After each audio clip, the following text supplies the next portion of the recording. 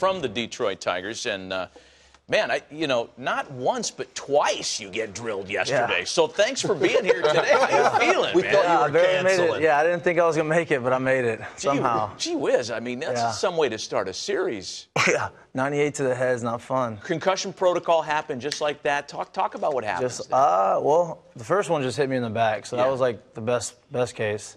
Uh, second one was uh, two-two count, I think it was, and look away, look away. You don't have to. that was the this first one. That was a good one. This one's not good. Oh no. Not good. No. Yeah, and this you can skip the next part.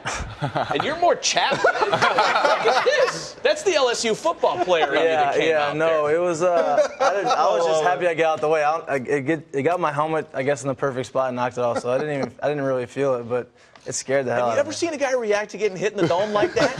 like that? Like you were mad at yourself for a minute. Were you, char- were you contemplating charge? No, no, I wasn't even mad. I wasn't even mad at him necessarily. Right. For it was just kind of, ha- it was like a reaction. It was just, it's just one of those things that happened. But uh, the Yankees fans weren't very happy with me after, after that. Shane, Shane, let me ask you, and we'll, we'll get into the baseball stuff here beyond uh, just Mikie getting drilled twice yesterday. you, as a ex-Yankee, when you come back to play here as a Tiger now, is this just any other destination for you, or is it still a place that you have some sentimentality for? Um, no, it, it brings back memories for sure. Uh, playing here was was crazy. Uh, came from a small town in Florida, so being here and having my family here, my dad was like Crocodile Dundee trying to figure out. This. uh, it was it was it was a lot of fun and memories that I'll never forget for sure. That's awesome. I want to ask Mikie, you're banging. Huh. want to since July, man. 347, seven doubles, four bombs, 15 ribbies, fifth highest average in the AL. Anything you're doing different, or just getting consistent ABs? Just gotta hit it. Just got hit. Just hit it.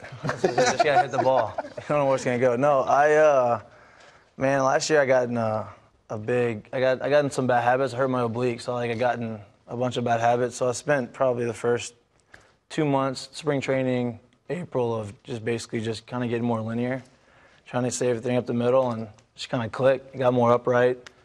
Uh, did the George Springer approach and just kind of let it fly and Yeah. oh, you were talking about that yeah, yesterday. just kind of just uh, Yeah. just let it go. Hey, Hey. these guys are throwing 97 with validated. buzzsaw Yeah. sink. I mean, Yeah.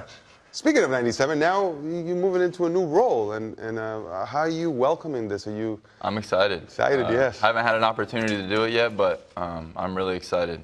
As soon as they told me that I was going into the bullpen last year, obviously that was a goal of mine uh, to one day be a closer. And uh, Brad told me yesterday that I was going to get that opportunity, so hopefully I get a chance tonight.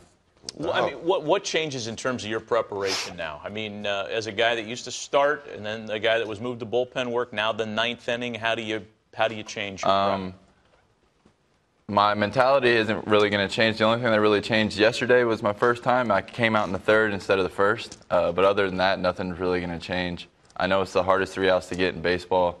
Um, so pitch selection might be a little bit different, but mentality-wise and routine-wise, I think I got it down pretty much. Uh, so we just got to see. It's going to be fun. I can't wait. Take me inside the, the clubhouse a little bit. You've watched J.D. Martinez walk out the door. You you watched a couple of teammates, Justin Wilson. What's what's the mindset uh, of the guys?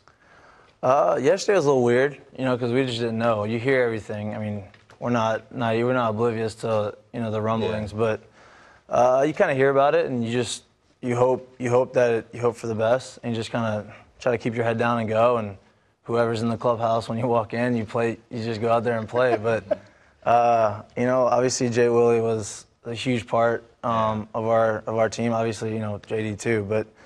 Um, you know, it's tough to see those guys go, especially guys that you you know kind of build relationships with. But it's part of the business, part of the game, and uh, You to dealt with the it. guys. Huh? Yeah, you for were sure. fired But I up. was, I was, yeah, it was a different situation for me. It was an off season, what middle of the season, um, so it was just a new opportunity for me. So it was, it was kind of a little, little different. people? People forget it's it's it's, it's we, we look at it and think it's everything is so seamless, but it's really not. I mean, even as teammates Oh, yeah. leave, uh, am I am I correct? I mean, uh, JV was uh, everybody thought he was going to be gone, and all of Uh-huh. a sudden he stayed. I mean, was there a sigh of relief when you saw that he didn't go anywhere? Yeah, for sure. I mean, especially his presence in the in the clubhouse, uh, not only for us but for the fans in Detroit. Um, to have him around still is going to be big time. Tell me, uh, i- i- because when you think about the Tigers, uh, the, the top of mind guys are Miggy, uh, Verlander, V Mart. Who, who's a guy, a teammate, present company excluded, that doesn't get the kind of run they should there? Who's the sneaky below the radar guy that we should be talking Yeah, I was about to say it. Yeah, I know. I mean, Kinsler. I don't know how people stop talking because he's the best. I mean, Kins is like, he's just kind of the he's the engine that makes the car run for us, for at least for me. Um, me personally, he's made baseball a lot more fun. Again, you know, he's 35, but he acts like he's 21 on the field. Like it's, and to me, he's the best. Obviously, all those guys that you mentioned are, are all stars and superstars and great players and leaders, but to me, Kins is, is the engine that makes it run. He's my sure. favorite player to watch play day in and day out. Yeah. Wow, it's interesting to hear a pitcher talk about a position player like that. I was ready for you to talk about a staff mate, but instead, if I asked you specifically about a staff mate, who's the guy that doesn't get enough run?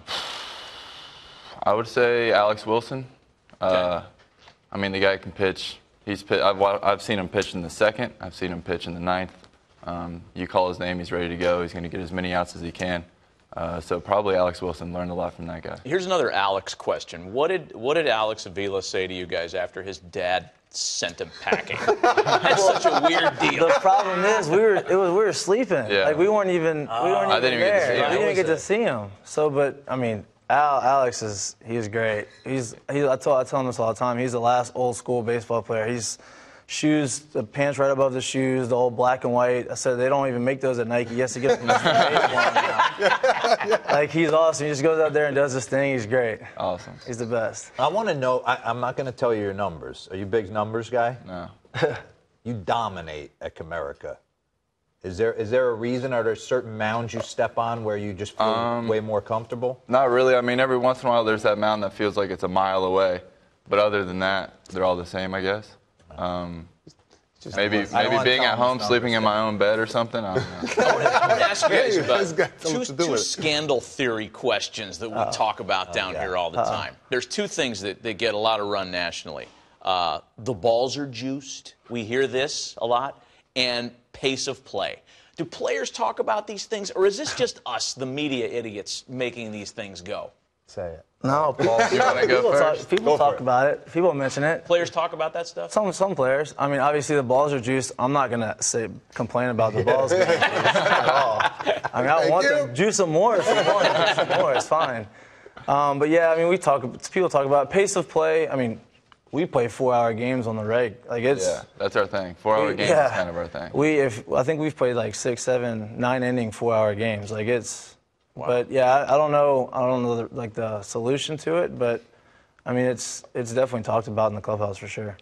I don't know if players care about pace of play. Like, if it's a long game, it's a long game. Like, I feel like it's a concern that other people have, and players aren't as concerned as maybe we are or league ex- executives are. Yeah, I'm not concerned about it. Um, Yeah. The, the game's the, been this way forever. Uh, and I personally take a lot of time in between pitches, and that's how I get locked in. So if you need to take a long time to get locked in before you get in the box, by all means. What, what do you really think about that four pitch, you know, uh, omitting that and just going to first base and turning a walk? I don't like. I like the. I like. The yeah, but you don't it. have to throw those four easy ones. But that's why I like throwing it. The year last year when I was in Tampa, we had a, uh intentional walk. We were trying to intentionally walk Gary Sanchez, and he almost hit a three-run homer. He didn't sacrifice fly off an intentional walk. Like, it didn't help us at the time, but it's like still kind of exciting. You don't know if the pitcher's gonna airmail it, and I don't know. I think it's just You're like, part of the "I'm game. Put them on. Go ahead. How are you guys with uh, art, drawing, sketching? good. Any- not not a skill set. Not- That's good. Six, That's six good. figures is about as You good as I get. You have can to get. be better than Tommy Pham. Wow. He just going I- straight I don't know. Yeah, we'll show you, I don't know. we'll know. show you I, some of his honestly, I have no idea.